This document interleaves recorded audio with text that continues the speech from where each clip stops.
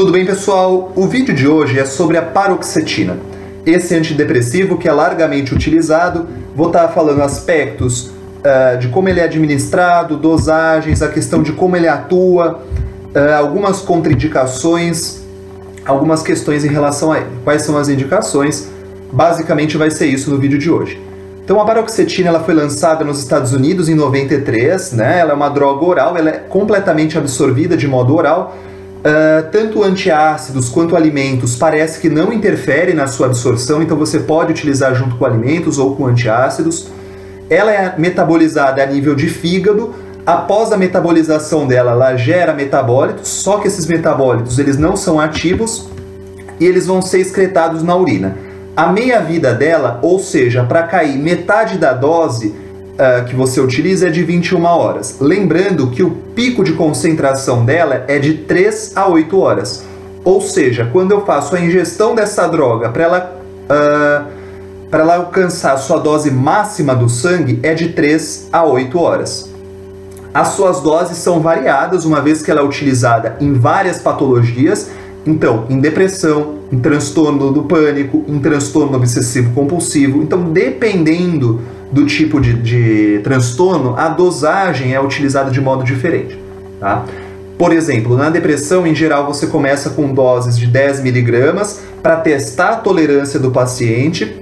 Se não houve é, reação adversa, você, de modo geral, aumenta para 20 miligramas aguarda mais umas 3 a 4 semanas para ver as respostas, tanto dos sintomas do, do paciente quanto a questão é, dos, do, dos efeitos colaterais. Alguns casos você pode até aguardar 8 semanas esse gap. Uh, se não houver resposta, você pode aumentar para 30, 40 miligramas, alguns casos até 60 miligramas, uh, especialmente nos pacientes que estão muito graves e já utilizaram dosagens altas de outros antidepressivos.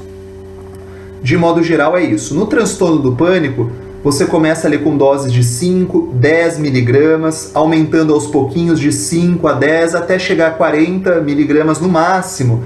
Lembrando que a dose média, geralmente para transtorno de pânico, é 20 miligramas. Uh, ela pode gerar sonolência em algumas pessoas e perda de sono em outras. Então, uh, o período de administração varia de acordo com esse efeito.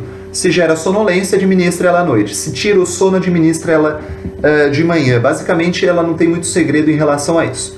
É, uma, uma questão interessante é que a retirada dela também deve ser feita de modo gradual, pela questão dos sintomas das, da, da, de retirada. Então, tontura, náuseas, vômitos, intolerância à luz, perturbações do sono. Então, é plausível que você retire de 10 a 20 miligramas a cada 5 a 7 dias, tá?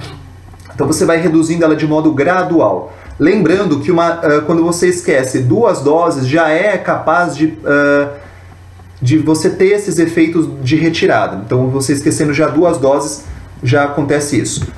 Lembrando que o mecanismo de ação dela, ela inibe a recaptação da serotonina. Se eu inibo a recaptação, tem mais serotonina na fenda sináptica. Tendo mais serotonina na fenda sináptica, chega mais serotonina no outro, na, na uh, no outro neurônio, havendo mais transmissão desse uh, neuro, neurotransmissor. Ela tem afinidade por outros receptores, então tanto muscarínicos quanto o histamínico, quanto ali o dopaminérgico, você tem atuações dela de menor efeito nesses uh, receptores, tanto é que alguns dos efeitos colaterais é justamente disso, pela ação dela nesses receptores. Parece que ela também diminui o, limi o limiar epileptogênico, uh, assim como alguns outros tricíclicos, uh, só que ela reduz menos do que os, do que os outros tricíclicos, tá? É, efeitos colaterais são não muito específicos, então você pode ter boca seca, cefaleia, diminuição do apetite. Muitos pacientes reclamam de disfunção sexual, a própria fadiga, né? sudorese, às vezes tremor fino das extremidades, mãos principalmente é um efeito colateral comum. Uh, e as indicações dela é aquela que todo mundo já sabe. Então, pode para depressão, para transtorno de pânico, para ansiedade generalizada, para fobia social, para estresse pós-traumático, para transtorno obsessivo compulsivo, para algumas outras condições não psiquiátricas. Então, o uso dela é, um, é de amplo espectro, né? E, e deve ser e deve ser estudada essa droga pelo paciente, saber os seus efeitos, saber os seus mecanismos de ação para ter um conhecimento é, maximizado sobre o que ele está utilizando.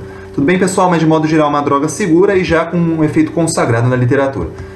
Curta o vídeo, compartilhe e se inscreva no canal. Até a